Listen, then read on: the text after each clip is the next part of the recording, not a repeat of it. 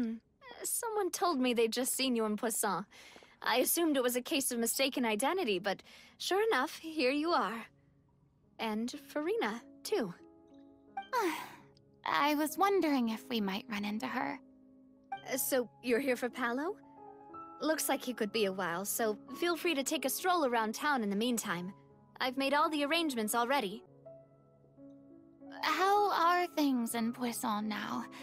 Any better? Things are on the mend, but it's a slow process. Some people may never recover from the trauma they experienced. I'm sorry to hear that. I take such a depressing turn every time we meet. We all have painful memories, but we don't have to let them cloud everything we do. And if you're trying to make a new start, perhaps it's best if you don't bring up the past all the time. Thank you for your words of comfort. You make a very good point. But for now, at least, I think I should stay with the way I'm feeling for a while longer. It's okay. These things take time. Moving on from a painful experience is easier said than done.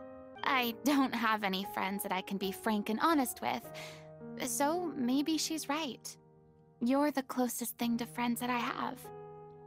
Said nothing but the truth, and now I'm finally free to live my own life again. And even though I have no idea where I'm going right now, at least the choice is in my hands. I knew you'd be here. I'm here merely for a short break. It has been a while, Miss Furina. And you too, traveler in Paimon. What might I assist you with today? I would like to book the Opera Epiclese for an event. You see, I understand. Hmm, the process for booking the Opera Epiclese is complex and can be somewhat cumbersome. But given that the request is coming from the three of you, I see no reason to make things unduly difficult. The story of the Little Oceanid is most fascinating. I'm looking forward to seeing it performed on stage. I will say, however, that I am surprised to see your passion for the performing arts rekindled after all that has happened. huh? Uh, what do you mean? Uh, do I look excited? Yes. And this is the first time that I've seen you like this since your departure from deityhood. At first, I just felt bad about rejecting them. So I wanted to learn a little bit more about their situation. But one thing led to another, and. Here we are. in the past, we sat in our high chairs in the court, giving our opinions on isolated cases, all while knowing very little about the human stories behind each. Maybe it's because I finally become an ordinary person and gained my freedom. But I've developed a great sense of curiosity about their lives. I am truly delighted to see you find a new lease on life. Now that you've regained some confidence, have you had any thoughts regarding a return to the stage? Why would you suddenly ask a question like that? Well, if the Little Oceanid turns out to be a great success, it will no doubt become a classic. Many theater companies are certain to add it to their repertoire. The experiences and decisions of the protagonist Cleo are all modeled after your own. Naturally, this makes you eminently suited to playing the leading role. It would truly be a shame if you did not take this opportunity to allow audiences to enjoy your outstanding acting talents once more. Haven't I already made myself clear? I won't act or perform in any role ever again. No exceptions. Nor do I think it is any great shame. There is no lack of fine actors or inspirational stories, either on or off the stage. This experience is a case in point. I feel like I've learned a lot, and it has already been well worth the price of admission. I must admit, though, I'm a little envious. They're quite fortunate to be able to bid farewell to their past in such a magnificent manner. I see. Well, I'm glad to learn that you have found a role to play that you enjoy, be it on the stage or not. I sincerely hope the show will serve as the grandest of finales. I will have my staff book the date and mail the relevant paperwork to the troupe once the details are confirmed. Thanks, Neuvillette. You are very welcome.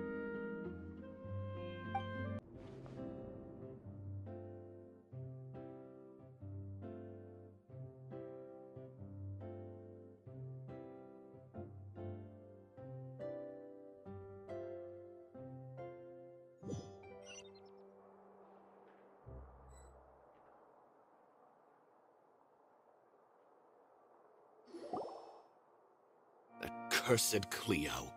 She stole the waters of life from us. She's a fraud, and she must pay for her crimes. This has nothing to do with her. The ignorance and hatred of our people is to blame. How can we hope to win back the water's favor if we don't change our ways? This guy could be useful. Take him hostage. If Cleo wants him back, she'll have to show herself.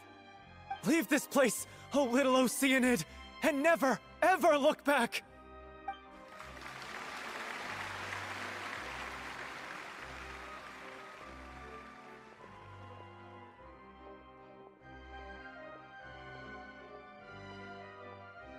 Everyone's really throwing themselves into their roles. I haven't seen such a fine performance in a long time. if only... What should we do? It's almost time for her to take the stage! Please take Delphi back to her place to rest. I'll sing the finale. From the sublime to the ridiculous. After all that, everything's come full circle. Thank you, Miss Furina. I'm so sorry to put you in this position after everything you said. Never mind. What's done is done. It's really my own fault for getting in too deep. no one likes regrets, myself included. Leave it to me. I've watched you rehearse so many times that I've learned Cleo's part by heart. Maybe Neuvillette was right. Maybe Cleo is the right role for me. I still don't wish to pretend to be someone else, but I do have a desire to express myself. So, maybe the ship, yeah. There was once a time when I was an actress in a masquerade, seeking only to hide the truth. But from now on, I want to spend my time learning real stories about real people and how they touch the lives of others around them. I want to watch them blossom and wither, see them refined on the page, retold on the stage, and remembered long into the future. I'm sure this is what captivated director O'Reilly as well. Sounds like you're ready to stop running from your true calling. The more you get out into the world, the more you'll discover what a fascinating place it is. then it's a deal. If a vision is a gift from the gods, then I should do my best to honor it.